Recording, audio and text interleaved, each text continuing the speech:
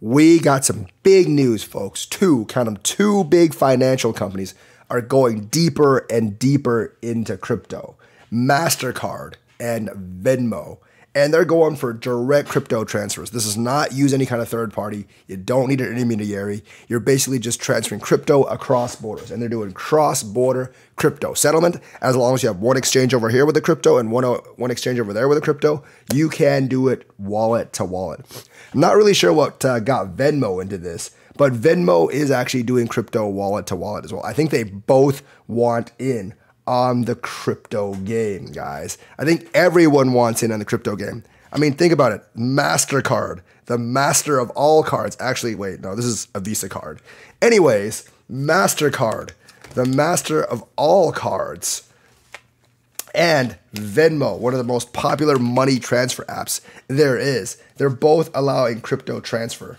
Of course, they're going to be fully KYC AML. They're not going to screw with the government. These are, remember, registered businesses. They can't afford to lose their business uh, for the sake of crypto privacy. So it will be fully tracked if you transfer crypto. But if you want to transfer crypto through the MasterCard or Venmo network, especially MasterCard, you know, that's a very, very trusted network among uh, people in the financial industry. It'll give crypto a lot more prestige as it goes. And I think it's a really awesome thing that these two companies will actually allow you to transfer crypto from wallet to wallet now.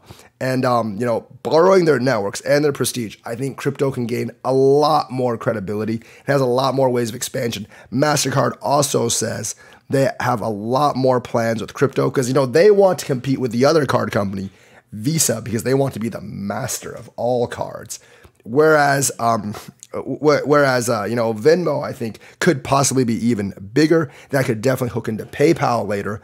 And, you know, I think they can open wallets for multiple cryptos. And that could definitely invite a lot of like non crypto people into crypto. Once these big financial institutions open their doors, people are going to have a lot more respect and they're going to have a lot more comfort in investing in cryptocurrencies.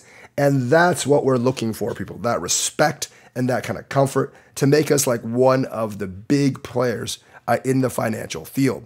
That's what I'm really excited about, and that's what you should be excited about because we are making this happen. The crypto revolution is coming. You know, once they have MasterCard, Visa, Venmo, PayPal, there is no way these government folks are going to stop these companies. They're so invested in the financial industry altogether.